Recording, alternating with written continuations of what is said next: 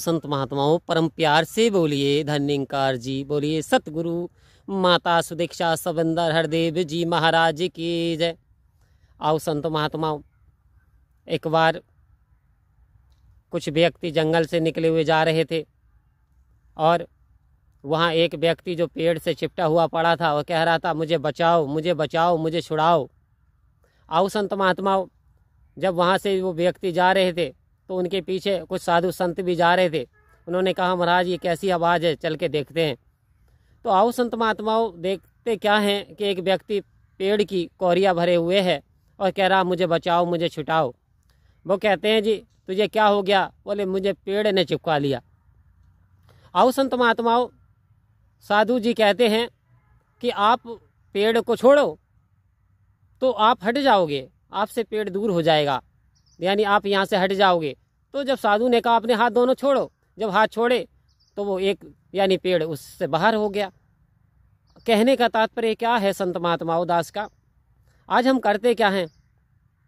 आज हम बुराई को स्वयं अपनाए पड़े हैं, और हम दूसरे से कहते हैं कि हम इस बुराई से बचाओ।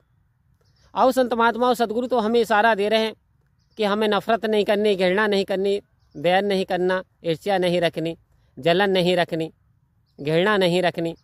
लेकिन आओ संत महात्माओं, जब बात आती है बुराई की तो बड़ा रस आता है इस बुराई करने में। बड़ा मज़ा आता है बड़ा आनंद मन को मिलता है। तो फिर कहते हैं कि, सदगुरु, हम पे कृपा कर, दया कर, मेहर कर।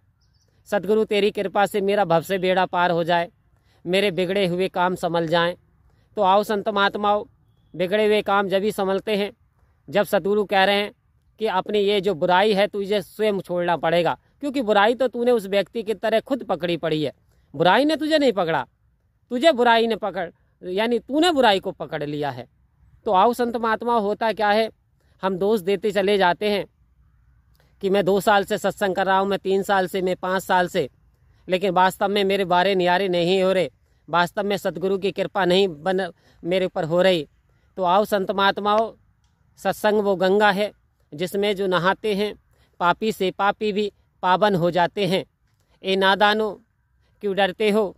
इस दर पर शीश झुकाने से, अरे ये नादानो, ये वो दर है, जहाँ शीश चढ़ाए जाते हैं, दुनिया के सताए लोग यहाँ सीने से लगाए जाते हैं। आओ संत महात्मा और सत्संग के बारे में, सतगुरु के बारे में, कि एक घड़ी, आधी घड़ी, आधी से पुनियाद, अरे तुलसी संगत साध की तो कटे कोटि अपराध। आओ संत महात्मा हो, तुलसीदास जी भी प्रमाण दे रहे हैं, हर शास्त्र ग्रंथ, हर वेद हर संत महात्मा रब्बी पुरुष इशारा दे रहे इंसान, वास्तव में सत्य का संग कर लिया तो तेरे जीवन में जो निखार आता चला जाएगा, तेरे जीवन में सतगुरु की कृपा बरसेगी तो तेरे बारे न्यारे होते चले जाते हैं। जब हमारा रिश्ता परमात्मा के साथ जुड़ जाता है, और जब हम इसे आत्मा आत्मसात कर लेती है तो आओ संत महात्माओं, फिर वहाँ से बेकार भागना शुरू हो जाते हैं, फिर वहाँ से दुख करोड़ों दूर चले जाते हैं क्योंकि करोड़ों इंसान के अपराध पाप भी कट जाते हैं सत्संग में जाने से, उसे सुनने से। तो आओ संत महात्माओं, कृपा करो। सतगुरु ने सुनहरा अवसर दिया। वर्तमान समय में सतगुरु है, निरंकार है और हम भी हैं। तो ये सब सतगुरु की महिमा, कृपा है, जो हमेशा शरीर में इस समय, यानी भेज दिया, और सतगुरु प्रकट है।